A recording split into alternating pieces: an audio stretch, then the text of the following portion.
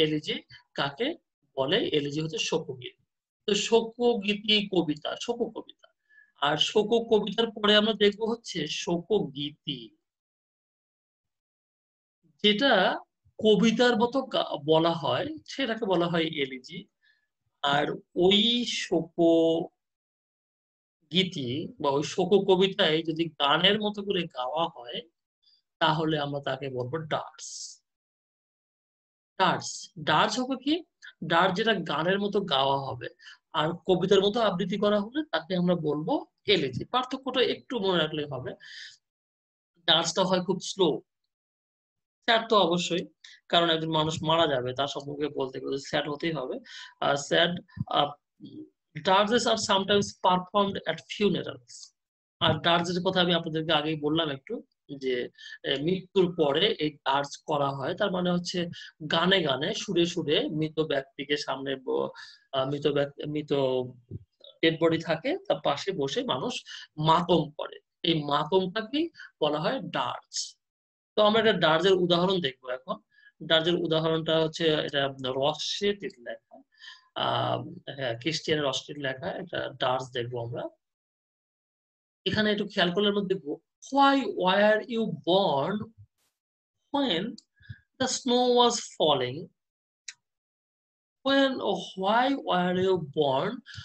কেন তুমি জন্মগ্রহণ করেছিলে তখন যখন তুষার পড়ছিল? তুমি কেন জন্মগ্রহণ করো নাই তখন যখন কোকিল ডাকছিল তার মানে তুমি কেন শীতের সময় জন্মগ্রহণ করলা? তুমি কেন বসন্তের সময় জন্মগ্রহণ করলা না? এই যে আরও অনেক কথা আছে আবার একটা কথা এখানে দেখছি and all winds go sighing এবং সব বাতাসে সাই করতে করতে চলে যাচ্ছে, তারপর দীর্ঘশ্বাস পেতে পেতে চলে যাচ্ছে ফর সুইট থিংস ডাইং কারণ সব সুন্দর জিনিসগুলোই মরে যায়। এই যে সব সুন্দর জিনিসগুলো মরে যায় মানে কেউ যেন মারা গেছে, সেই মারা যাওয়া ব্যক্তি সম্পর্কে বলতে নিয়ে সে বলছে সব মারা যাচ্ছে।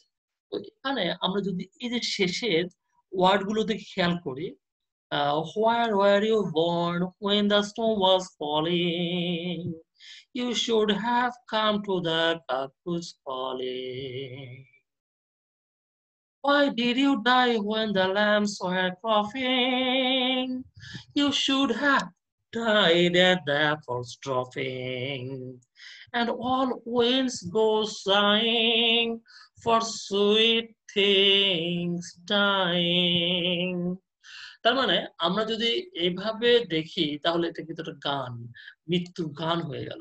এটাকে বলা হচ্ছে ডার্স। তো আমরা ডার্স সম্পর্কে ধারণা পেলাম এলি সম্পর্কে ধারণা পেলাম, মনে রাখতে হবে একটা গান গাওয়া হয় আর একটা কবিতা মতো করে আবৃত্তি করা হয় রিসাইট করা how does an elegy differ from a dirge তো আমি যে কথাটা এতক্ষণ বললাম আপনাদেরকে সেটাই কিন্তু এখানে বিষয়টা সেরকমই যে a dirge is shorter and less formal ডান্সটা হয় ছোট টাইপের কিন্তু এলিজি হয় বড় আর ডার্সটা হয় অনানুষ্ঠানিক, কারণ যে ওখানে গান গাওয়া হচ্ছে, কথাগুলো খুব বেশি মানে কাব্যিক হতে হবে তা না। সাধারণ কথাবার্তায় মানুষ কান্না করে। কান্না করার সময় মানুষ কিন্তু বইয়ের কথায় বা সাধু ভাষায় কান্না করে না। তো সেক্ষেত্রে এটা ফর্মাল কম হয়। তার মানে ডার্সটা ফর্মাল হয় না। কিন্তু এলিজি ফর্মাল হয়ে থাকে, কারণ এলিজিতে অনেক কাব্যিক কথা লেখা থাকে, এটা আবৃত্তি করতে হয়। আর আবৃত্তি করার জন্য খুব সিম্পল সিলি কথা দিয়ে আবৃত্তি করা যায় না এবং সেটা শুনতে খুব বাজে লাগে। Elegy is expected to be recited elegy কে বলা হয়ে থাকে যে এলিজি অ্যাকচুয়াল এটা রিসাইট করতে হবে। আর ডার্স কে কি করতে হবে? ডার্স হচ্ছে তোমার টেক্সটটাকে সাং করতে হবে। ডার্স মানে গানটা গান গাইতে হবে। এখানে আবৃত্তির বিষয় না। আবৃত্তি হলে হতে পারে, কিন্তু গান গাইতে হবে। তো এরকমই আরও একটি আছে। তার নাম